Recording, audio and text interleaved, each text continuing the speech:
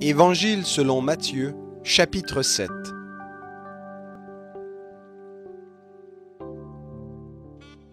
Ne jugez pas, afin de ne pas être jugés. C'est du jugement dont vous jugez qu'on vous jugera, de la mesure dont vous mesurez qu'on vous mesurera. Pourquoi vois-tu la paille qui est dans l'œil de ton frère et ne remarques-tu pas la poutre qui est dans ton œil? Ou comment dis-tu à ton frère Laisse-moi ôter la paille de ton œil, alors que dans ton œil il y a une poutre Hypocrite, ôte premièrement la poutre de ton œil, et alors tu verras comment ôter la paille de l'œil de ton frère.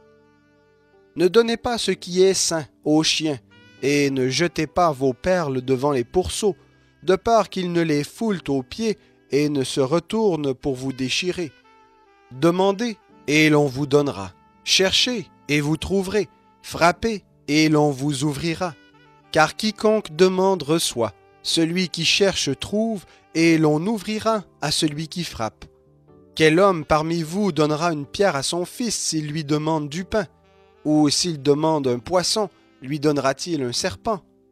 Si donc, vous qui êtes mauvais, vous savez donner de bonnes choses à vos enfants, à combien plus forte raison votre Père céleste qui est dans les cieux en donnera-t-il de bonnes à ceux qui les lui demandent? Tout ce que vous voulez que les hommes fassent pour vous, vous aussi faites-le de même pour eux, car c'est la loi et les prophètes. Entrez par la porte étroite, car large est la porte et spacieux le chemin qui mène à la perdition, et il y en a beaucoup qui entrent par là. Mais étroite est la porte et resserré le chemin qui mène à la vie, et il y en a peu qui le trouvent. Gardez-vous des faux prophètes. Ils viennent à vous comme des brebis, mais au-dedans ce sont des loups ravisseurs. Vous les reconnaîtrez à leurs fruits. Cueille-t-on des raisins sur des épines ou des figues sur des chardons? Tout bon arbre porte de bons fruits, mais le mauvais arbre produit de mauvais fruits. Un bon arbre ne peut porter de mauvais fruits, ni un mauvais arbre porter de bons fruits. Tout arbre qui ne produit pas de bons fruits est coupé et jeté au feu. C'est donc à leurs fruits que vous les reconnaîtrez. Quiconque me dit Seigneur, Seigneur n'entrera pas forcément dans le royaume des cieux, mais celui-là seul qui fait la volonté de mon Père qui est dans les cieux.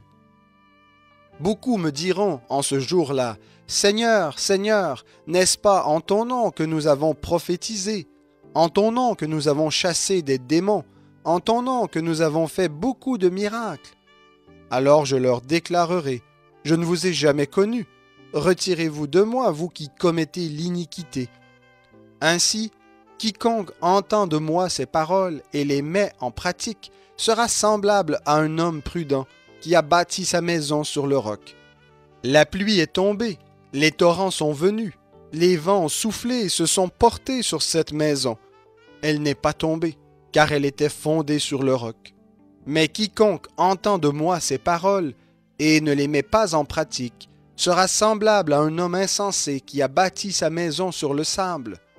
La pluie est tombée, les torrents sont venus, les vents ont soufflé et se sont abattus sur cette maison, elle est tombée et sa ruine a été grande.